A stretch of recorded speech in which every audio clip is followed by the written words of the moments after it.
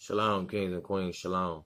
I'm just coming to you with another video, short but detailed lesson. Uh, I just want to say happy Sabbath to everybody. Hope everybody having a great day and a great Sabbath, a great week. We're thanking the Most High God for another Sabbath for allowing us to see it. Um, you still don't have understanding on that, please look into it. Uh, get some understanding on what the Sabbath is. It's one of the Most High God's highest holy days. Understand that. Falls every week. It's 52 Sabbaths in a year. I Understand that. Um, so if you're not following my uh lost sheep page, uh, you can be added to it if you like. Um, I uh that's the page I use for my business page that I uh, teach on, and I uh, also uh, use for merchandise. Any type of merchandise that I have that you may like, you can purchase. Uh, I got Tunnel Vision Films on YouTube, my channel. You can uh log on to, and you can get full videos there if you like. But I'm just coming for but short but detail understand, like I said, raising awareness. So this video here is the last video I'm gonna do for uh, Let's Play Connect the Dots. If you didn't catch the first three videos I did on it, you can catch it, like I said, on Tunnel Vision Films, or you can catch it down my Lost Sheep page on Facebook. But this is the fourth video here. It's called Let's uh, Play Connect the Dots. Now, I choose that title because uh, we're in a time where the uh, excuse me, where scriptures tell you that people will be running to and fro with no understanding. People would be being tossed to and fro and um, running around with no understanding, trying to get understanding but won't be able to get it. You understand? So we're in a time where also to understand that the Most High said that when the prophets speak, you know what I'm saying, it would be like wind to uh to the people. It'll be like wind to their ears because every time somebody tell you something when it's involving the truth or something you don't understand, we fear it and we run from it. We fear the things that we don't know and the things that we don't understand. So Understand this. Before the Most High God destroyed any uh empire, he always sent prophets and teachers. He sent prophets and teachers to warn the people. You understand? He sent prophets and teachers to warn the people. So understand this. Stop ignoring what the Most High God may be sending your way or sending someone your way to bring you understand that could possibly wake you up or save your soul. Understand that. It tell you in Romans 10 and 13. How can you be taught if he don't send you a teacher? You understand? So the most high will use somebody that you don't think is educated that's next to you or the lowest so that you will get the understanding and so that you will notice the most high God working through him. You understand? You study sitting in position looking for a pastor or someone of this uh, stature or status to bring forth you understanding or show you who you are, who God is and who the Christ is. But they're not going to be able to do that. Why? Because you can't put a person in school and get him a Bible and say, Here, go teach. You can't go to school to learn to teach about the Most High God. You understand why? Because you have to be called to do this. It's the difference in being called to do something by the Most High. You have to have the Spirit of the Most High and the Spirit of wisdom and understanding and Christ with you. You know what I'm saying? For this walk. You have to rightly divide the word of truth, is what I'm saying. Nobody's rightly dividing the word of truth in these uh, churches that's under 501c3. Understand that. Now, what I'm trying to say to you is this we had to stop running from things. Like our brother Paul said, Do I become your enemy now because I tell you the truth? Understand that. You should love a person for telling you the truth. I don't understand how a person can tell you the truth or give you some understanding and you do nothing but weigh it as if it's just another opinion. Like I told you, I said in scripture to tell you that, when a prophet speak in these days, it's going to be like wind to the people. It's going to be like wind to their ears. They're not even going to, you understand, but not even knowing that a person is telling you something that they possibly putting their life on the line for you know what I'm saying, and things of this nature. But understand this as well. It also tell you in scripture that so what if some don't believe? So what if you don't believe anything that I'm saying or anything that's going on in this world considering concerning prophecy, excuse me, or concerning that's written in scripture? Just because you don't know it or don't believe it's true doesn't mean it's true. It tell you in scripture that just because you don't believe, well, so what if some don't believe? Does that make the word of God void? Do that mean his prophets prophecies are not going to come uh, be fulfilled? His prophecies are already being fulfilled as we speak. You understand? We just don't know the scriptures because, like I told you, we never was taught that Bible. We learned it from our enemies and our oppressors. You understand? We never learned it. They taught us a doctrine. They use doctrine to see to deceive us. You understand? A person can have the Bible open and teach you what they want based off their opinions and their ideologies. Just because the Bible open don't mean they teach you the Bible. And that's why you can't get the truth or get this understanding I'm trying to bring forth here in these churches because they're not going to teach you that. You know what I'm saying? They rather preach two hours off their head and then read you a few scriptures. But where did you get Bible understanding that? You got to understand when Christ was taking the disciples into, uh, the, excuse me, the disciples into the temple. You know what I'm saying? They was getting Bible understanding. Whenever the Bible's in place, you're supposed to get Bible understanding. Understand that. So I said all that to say this. The scriptures tell you, prove all things and hold fast to which is good. That's Thessalonians 5 and 21. Prove all things and hold fast to which is good. So I'm going to prove, like I always um, come forth with understanding through the scripture and the word and prove what I'm uh, bringing forth. But you need to hold fast to it because it's good. Why? Because this can instant liberate you. What liberates us? The truth. The truth is the keys we need to unlock us from our mental prison. We are meant. We are still mentally enslaved. We're not slaves physically and in shackles and chains, but we have shackles and shackles and chains, excuse me, on our mind, and that's the worst thing. Why? Because the great. What is the devil's greatest tool? Psychology. Psychology is the devil's greatest tool that he used to deceive us, and it's still working to this day. No different than a Willie Lynch letter. He said he he predicted that would work within our people, and it's still working to this day. Psychology. You understand? So now let's talk about this voting. Voting is one thing that we do not need to uh, waste no more time on. Understand this. I never voted. You understand? I never voted.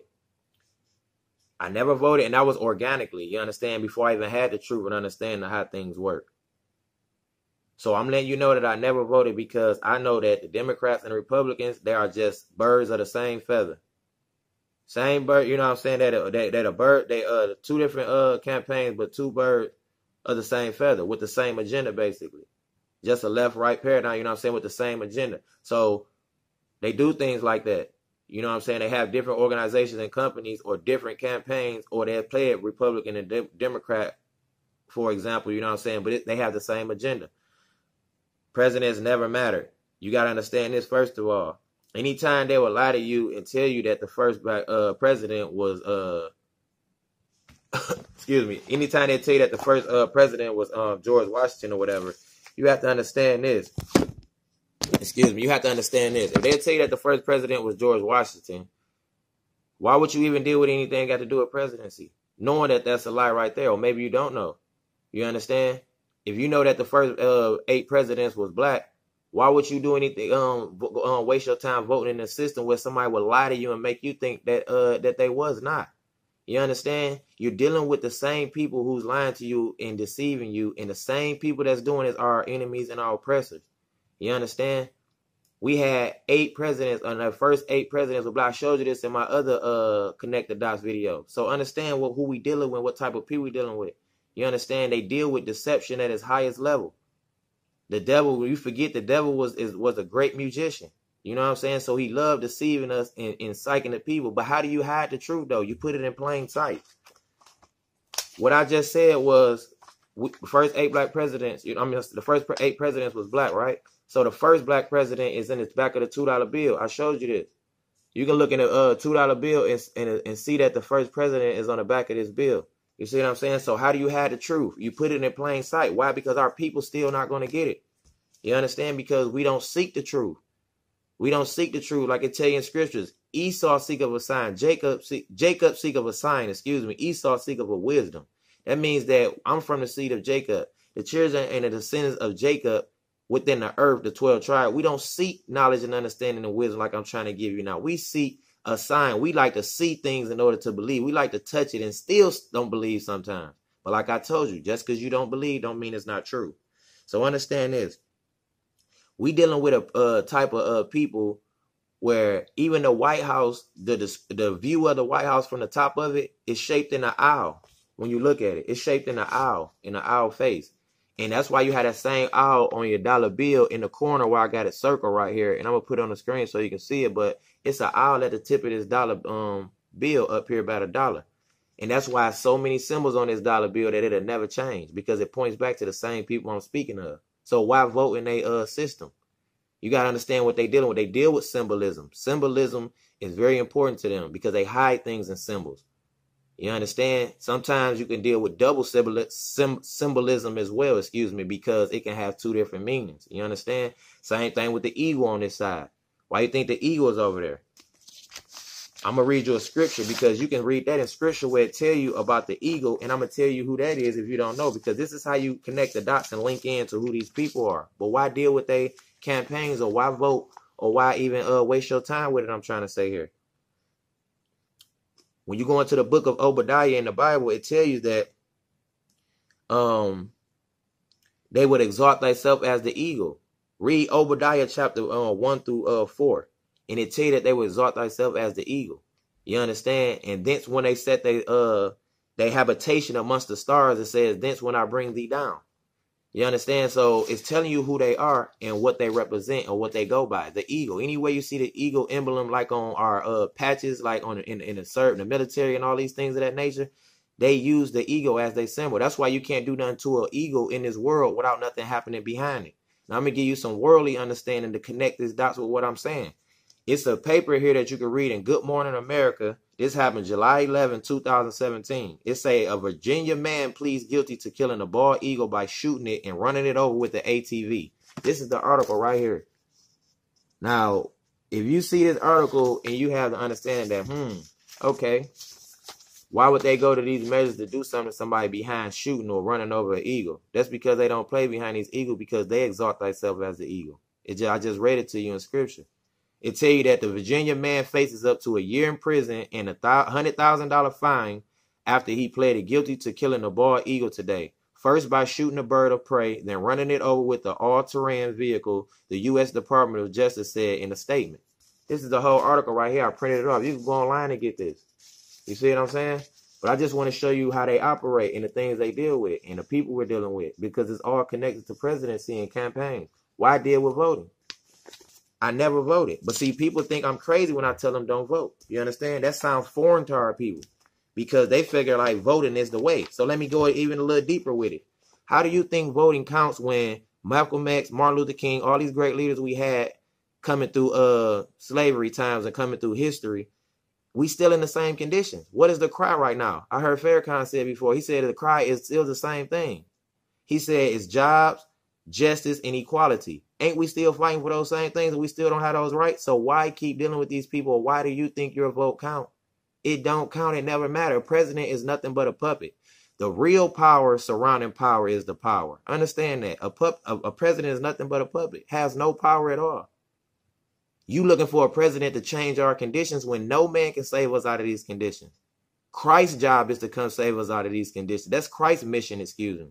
No man in walking this earth is going to be able to save. it. That's why it tells us in Deuteronomy 28 when we, it said that we would come over here about a way of slave cargo ships that no man will be able to redeem you or save you. Meaning no man can buy us or save us out of these conditions. What we're going through in this world, we're meant to go through it. Why? Because it was prophesied that we go through this.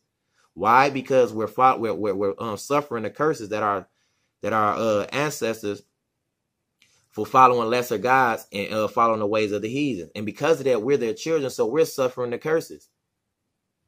We're suffering the curses. It tell you in Genesis 49 that when their fathers pass away, they will have all the children sitting around them in front of the bed, and they would tell them what will befall them in the last days. So he let us know, Jacob, our father, who gave birth to the 12 tribes, that what we will go through in the earth in these last days. We are suffering those curses. Look around. So I'm telling you, if you know that we're suffering curses that's written of in scripture, why do you think a president or anybody walking this earth can come save us out of these conditions? No. We had to go through this because Christ went through it. Christ came down here and went through it and died for a nation and died for our sins. He didn't have no sins or no flaw in him. So how do you think we're not supposed to go through anything? You think we just gonna skip, skip, uh, you know, through the tulips and the trees and hold hands with Christ when He come back, and we just gonna go to heaven? It's not that simple and not that easy. But it's a shame that that's the understanding that most Christians have and that they teach it in these churches. You understand? It's not gonna happen that way. Christ coming back to get His garment dirty. You gotta understand He coming back for war.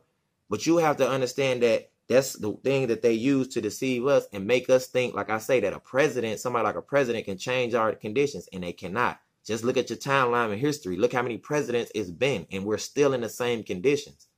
You understand?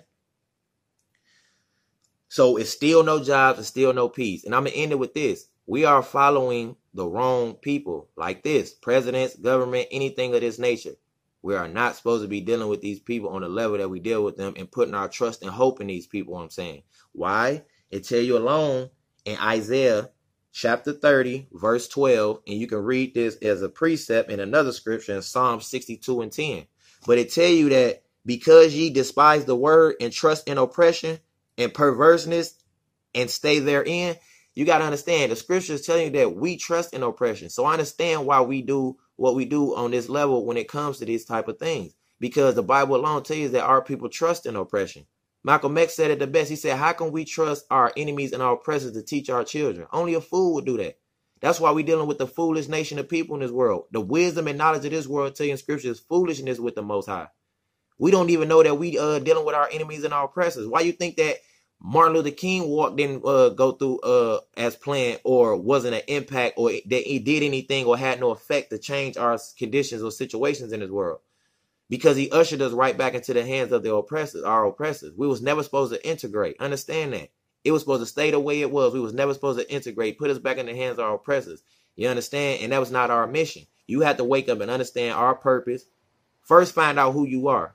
Once you find out who you are, then you understand uh what's your reason for fighting and fighting on the right side of this thing. And then that's just the beginning of understanding of who you are. Just knowing who you are. That don't mean that you're gonna still be able to um, walk through the um through the uh, pearly gates just because you know what I'm saying you know who you are. That's just the beginning of understanding of who you are. But it's deeper than that. It's a deeper truth and understanding we must receive in that. You have to get an understanding of Christ in this aspect and read about him, I'm sorry, from a human aspect and understand his walk because that's the way. If you don't do it Christ's way and like Christ did, he came as an example to show us a way back to the Father. That's why I tell you in John that he is the way, the truth, and the life, and no man cometh to the Father but by me. Understand that. So no man can say without these conditions. Voting don't count. You can go get a book too called the faith of the founding fathers. You can look in one of my uh, YouTube channel and you can look for a video I put on there about this book and get more understanding on it. But even this book alone lets you know. This book alone lets you know what faith that our first uh, four presidents of this world was dealing with and what practices they were dealing with and customs as far as religion and things of that nature that they brought over here to the world when this world was written, the new world, which is America. You understand? So you have to get this book and get understanding and understanding what we're dealing with. 13 Illuminati signed our uh our Declaration of Independence. And that's right here in the back of your $2 bill too as well. Right here. 13 Illuminati. So you got to understand what we're dealing with. And that was in 1776. You got to understand what we're dealing with, what, what kind of people we're dealing with here. Wake up and get some understanding. Peace and blessings. Stay tuned for part two. Shalom. So I'm gonna give you two more uh two more things that you can connect the dots with, you understand, that'll give you understanding on why it is on why it is that you should not be dealing with anything as far as far as um voting or anything of this nature. You know what I'm saying? This is what this is about. I'm giving you all the understanding on how you connect your dots on uh how uh why or why why or why you should not vote. You understand? So when it comes to this, understand this. Anytime you're dealing with this president the uh the presidential campaign the election and voting and things of that nature, why deal with these people? Why deal with the people that will put up a statue or erect a statue outside of the White House of a guy named Albert Pike? I understand. Albert Pike is a guy who started the uh, KKK. This is a 33 degree Mason, actually a son of Satan. Why this guy uh predicted three uh world wars way back in August, I think 15th of uh in the 1800s what you can do is you can look up online. You can look up one of his memoirs. It's called uh, Dog and Morals, Morals and Dogma. You can look this up and read it, and, and you'll get all this understanding and more information. You know what I'm saying? And, uh, about Albert Pike and his origins. Get understanding on that. What kind of people are we dealing with that would put a statue of this man outside of the White House? He never ran for president. He don't have anything to do with presidency, but you have to know, you know what I'm saying, how much power that he have. That's that's what it should make you ask yourself. How much power do he have to have this statue out here? You know what I'm saying? And what it represents. Understand? So you have to look at you have to look at uh you have to look at something else here that I want to show you as far as the key piece where you connect your dots and understand what we're dealing with or what type of people we're dealing with when it comes to the president, when it comes to voting, when it comes to the government. Understand it. Understand this. If you don't know, look into it. You can Google this. You can look it up. You can go visit this thing. It's called the Georgia Guidestones. This right here is very important and key as well. The Georgia Guidestones are at 1031 Guidestones Road in Albert, Elberton, Georgia. And the zip code there is 30635. Now that's the location of the Georgia Guidestones. Now what the Georgia Guidestones is. When you look it up, it you the Georgia Guidestones are a granite, granite monument erected in 1980 in Elbert County, Georgia. in United States. A set of uh, 10 guidelines is inscribed on the structure in eight modern languages, and a shorter message is inscribed at the top of the structure in four ancient languages script. So it's letting you know that this thing is broke down in eight different languages. You have English, you have Spanish, Swahili, Hindu, you have Hebrew, Aramaic, you have Chinese, Russian, and at the, and and but this is what's key about this Georgia Guidestones. You understand? You have to understand why that's there. What kind of statement they trying to make by putting this thing there, and we'll put it up, and nobody is doing anything about it. But you have to understand why they put it there. Now, this thing basically what it is is their set of uh, laws that we're supposed to follow are going to have to follow within the new world when they do this new world order thing to come. You understand? But that's going against what the Most High God laws is in the Bible. We are supposed to follow the Most High God laws. Excuse me, the Most High God laws in this Bible. Not on no Georgia Guidestones, but they want us to drive to Georgia and they put this thing up so we can read their laws. So I'm just going to give you the first one. I'm not going to go over all of them. I'm going to give you the first one that's on there. The first one on their law, it said the first uh law that's on this Georgia Guidestones. I'm sorry. It says maintain humanity under 500 million and perpetuate balance with nature. So that means that some people are going to die, and that means that they're the ones who are going to decide who those people are going to be. Keep humanity under 500 million. That right there lets you know what type of people we're dealing with and lets you know that they were going to destroy us and do these things that they're doing to us. You understand? Wake up and get some understanding. Shalom.